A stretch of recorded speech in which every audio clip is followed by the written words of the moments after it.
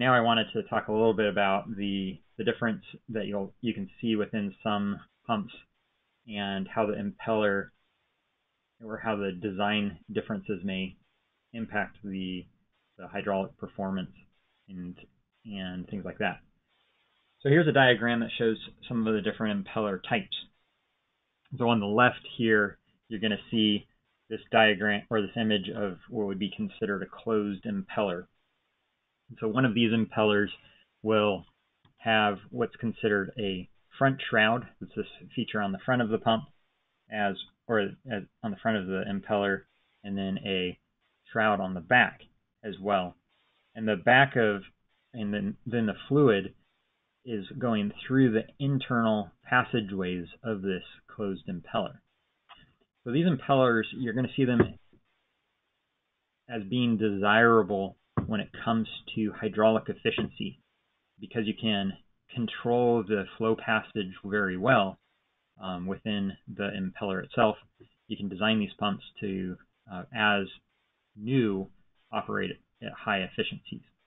With that said, over time, that internal flow path is going to wear away, particularly if you're using abrasives or you've got chemical corrosion attack or chemical attack going on on the impeller.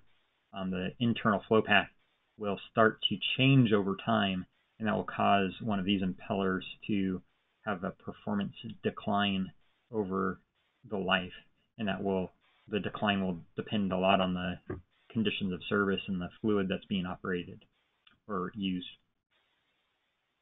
The the other challenge with the closed impeller is that if uh, you're operating the pump with any kind of solids, then a, a solid could get stuck inside the impeller and then cause a hydraulic imbalance or and then ultimately excessive vibration until you stop the pump and clear that blockage.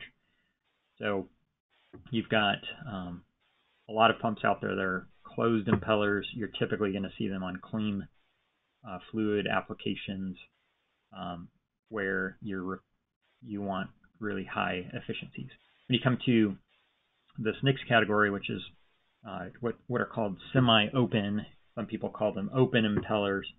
Uh, these ones you can see there's no front shroud on the impeller itself, and that means the impeller has to be mm, um, installed and controlled on its placement very close to the casing. And so the portion, the flow in one of these pumps goes inside the impeller vane profiles, but then it the the case itself is also the front shroud on these particular pumps controlling the flow path. Um, so these pumps, because you have a gap between the casing and the impeller, you're not going to get the same hydraulic efficiency and performance out of these pumps.